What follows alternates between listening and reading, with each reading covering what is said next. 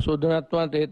Well, uh, for all, for all I care, you can die anytime. 身为总统，直接怒呛人民不想接种疫苗就去死。菲律宾疫情持续高烧，不但八号新增九千五百多人确诊，七天平均新增八千七百四十七例。九号德塔病毒更累积到四百五十例，严重拖累该国医疗资源，让马尼拉被迫从八月六号一路封锁到八月二十。Ito ngayong ayaw magpabakuna, sinasabi ko sa inyo, huwag kayong lumabas ng bahay. 最尴尬的是，菲律宾疫苗接种率持续低迷，预计七千万人接种才有群体防护力，现阶段却只有七百万，大约十分之一的人口完成两剂接种。疫情已经导致损失惨重，全国紧绷的情况下，总统口不择言，恐怕只会让不必要的伤亡继续增加。在地新闻，中考报道。